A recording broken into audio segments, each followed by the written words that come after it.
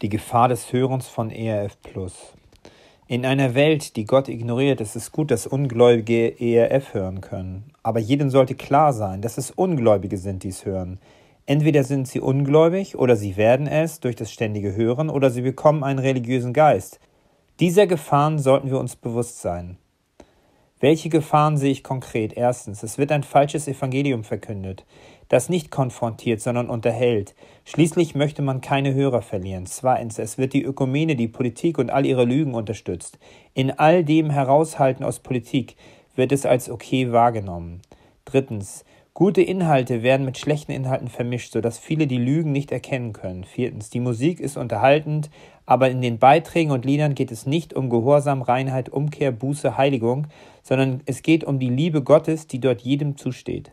Fünftens, es wird ein falsches Bild von Gott vermittelt und keine Furcht des Herrn. Sechstens, es wird Lehre vermittelt, die niemanden konfrontiert, sondern unterhält. Siebtens, es werden nicht einmal Babychristen erzeugt, denen dann aber eingeredet wird, dass sie Christen sind. Was sind die Folgen des Hörens? Erstens, viele denken, sie sind Christen, dabei sind sie keine Nachfolger Jesu. Sie lieben die schönen Worte von Jesus, die sie streicheln, aber sie mögen nicht die Worte, die Gehorsam fordern.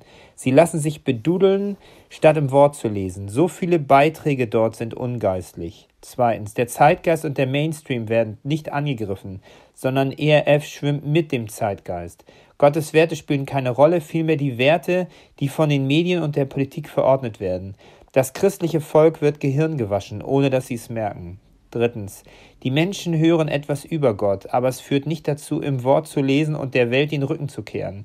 Ist wie Bibel TV für mich Weltleid. Die christliche Version der Welt mit weniger Gewalt, aber eben mit der gleichen seichten, ungöttlichen Sicht auf das, was Gott liebt und Gott hasst. Viertens. Nur eine klare, scharfe Botschaft bringt Menschen auf die Knie, Leben zu verändern. Es gibt zwischendurch gute Zeugnisse, aber die gehen unter in all dem Gedudel und dem Singsang, der da auf ERF gespielt wird. Fünftens.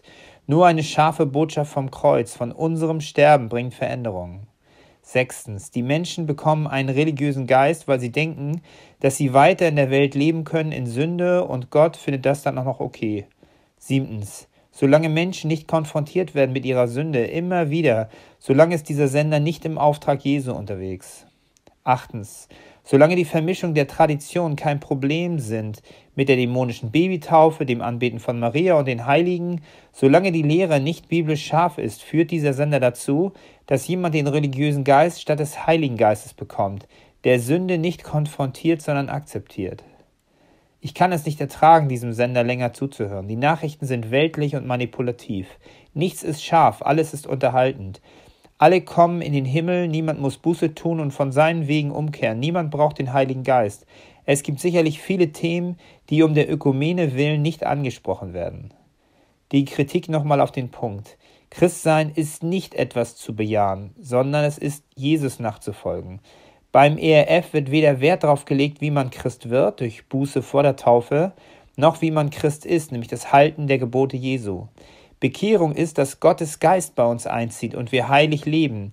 ERF ist für weltliche Christen, die Jesus zur Welt dazu gebucht haben.